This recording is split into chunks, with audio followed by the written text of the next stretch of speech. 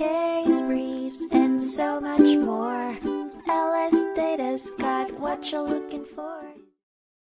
In the 1994 case of Colonial Life Insurance Company of America Ver Curiale, a commercial insurance company challenged two regulations implemented by the New York Superintendent of Insurance requiring commercial insurers to use community rating and offer open enrollment to provide greater rate stability and spread risk among more people.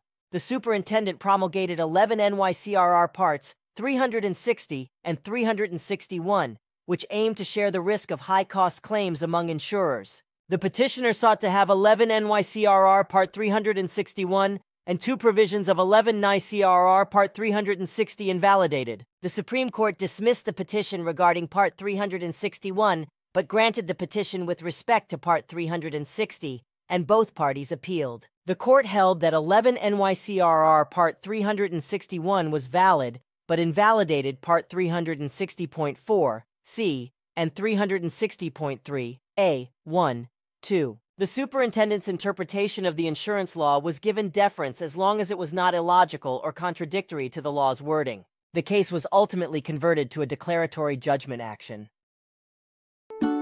Case briefs, and so much. LS Data's got what you're looking for. Visit lsd.law, elevate your mind. Leave the stress of class.